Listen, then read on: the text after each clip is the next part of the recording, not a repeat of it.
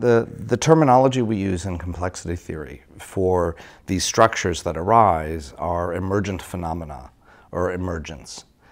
Um, and it does have a mysterious sort of mystical feel because there is no one planning it. Um, there is no one planning.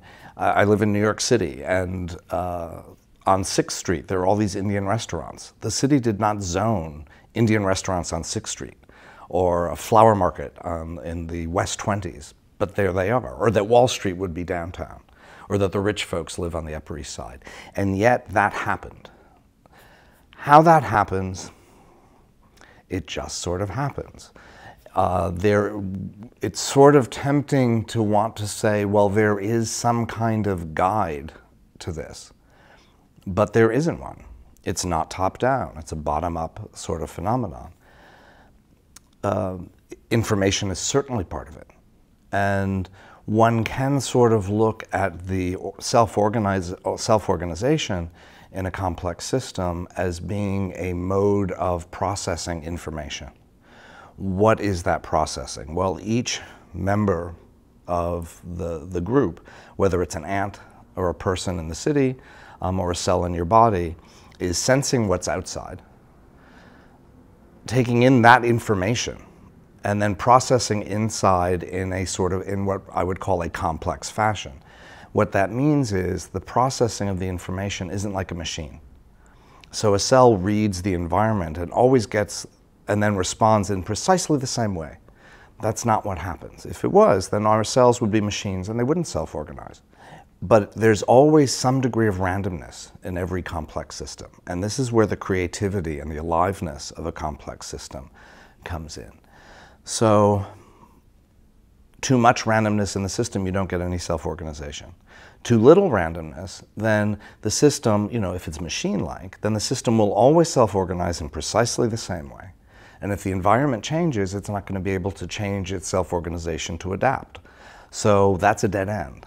So you need a little bit of randomness in the system. Um, and that's what allows uh, for creative solutions and adaptation. So if you think about a food line of ants from a distance, you're looking down at it, it looks like a, a straight line of ants. But if you look more closely, there's always like 3 to 5% of the ants that aren't following the line. That's the quenched disorder, it's called, the, the low-level randomness in the system. It turns out those random ants or divergent ants are essential for the colony to be a creative, adaptive structure. If there's too much randomness, then there's no food line. Then nothing gets accomplished. There's no self-organization. But imagine that there's, every ant is in the food line. Then when the food runs out, who's going to find the new food source? Um, or if a foot gets, uh, you know, if I put my foot down in the middle of a line, those ants are following the line. How are they going to find a way around the foot? It's those ants who aren't part of the line that rapidly find a new route around the, your foot. So this low level of randomness in the system is what makes things actually alive and adaptive. So let's say you have um, a cell. And the cell, let's say you have a paramecium that's um, swimming along and it comes up to a boundary. Well, if you're looking at the paramecium, what happens is it will back up and then try again, shifting its uh, direction a little bit, back up, try again, and it'll keep doing it until it gets around. So it looks like this paramecium is trying to find a route around the obstruction. What's actually happening is that the paramecium bumps into the obstruction and its membrane flattens. Now the way a paramecium moves, it has these little hairs, flagellae, like little oars, that are all sweeping in unison together and, um, and propelling it forward. When the membrane flattens. There are calcium channels that open up in that flattened membrane because of the changing of the shape. And calcium starts to flow out of the cell into the environment. And that calcium tells the flagellae to reverse direction. And so the paramecium looks like it's backing up. The membrane straightens itself out again, and those membranes close, and the calcium sort of wafts away. Now, water isn't completely still. There's a little bit of movement in the water just because the water has temperature. there's Brownian motion.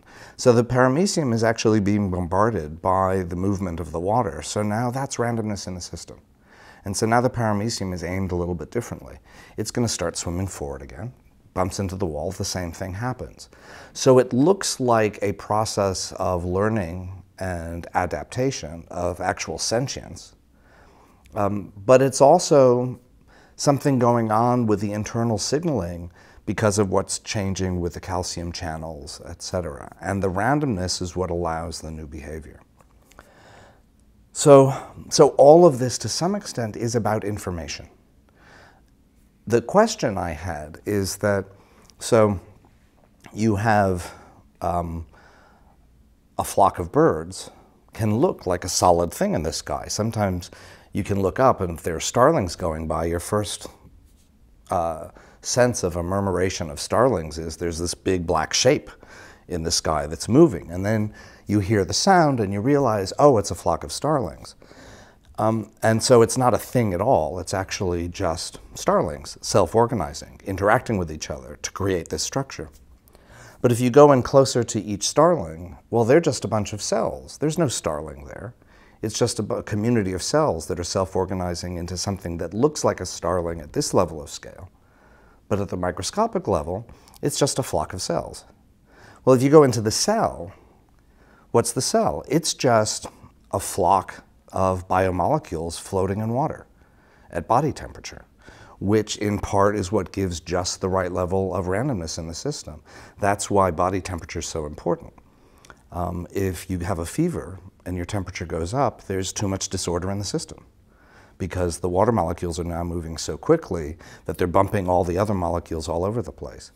But if you freeze it, everything stops that's not good either. So you need this quenched disorder, this limited randomness, and in our bodies, that's partly established by what your body temperature is. So a cell ceases to exist when you go down to the nanoscopic level. It's just a bunch of molecules in water. So are molecules then the fundamental thing? Well, they're just atoms that are self organizing into molecules. And what are atoms? Well, they're just self-organizing particles, um, the electrons, protons, neutrons. Um, well, are those the fundamental thing? Well, no, those, there's another layer of elementary particles, the standard model, below that. Are those the fundamental thing? Well, no, there's another level below that. And physicists don't agree on what those things are. Strings is one theory, and that's why string theory is, is uh, so popular because that's one thought. But it's not turtles all the way down. It's, there isn't endlessly smaller things. One thing physicists agree on is that there is a smallest distance and a smallest unit of time. They're called the Planck distance and uh, Planck time. And things can't get smaller than that. So when you get to these smallest things, whatever they are, strings or whatever, are they the fundamental thing. Turns out they're not. Um, the vacuum that we measure um, by space-time is not actually empty the way we think vacuums are. It's an extremely high energy field. And because E equals mc squared, the energy in that field is constantly turning into little tiny particles or strings or whatever. Most of those form in matter-antimatter pairings, and so they just self-annihilate. So energy bubbles up in what's called the quantum foam. Uh, I really like that term. so you have this foam of energy turning into matter-antimatter stuff, and it's just bubbling and bubbling. But every once in a while, some of those things don't actually self-annihilate. And the particles that don't self-annihilate can interact with each other in exactly the same way we were talking about the paramecium. So strings, or whatever the smallest things are that escape um, the subsiding back into the vacuum, they interact with each other to create quarks and, and such stuff. And they interact with each other to create atoms, and those interact with each other to create molecules, and on up through the universe. So the entire universe then is a self-organizing system. And there is no thing that you can identify that is independent, permanent, existent in and of itself. And this is what the Buddhists call emptiness of inherent existence. At this level of scale, I look like a body. Lower down, there's no body at all. I'm just a community of cells that are self organizing, most of which aren't even human, most of them are bacteria.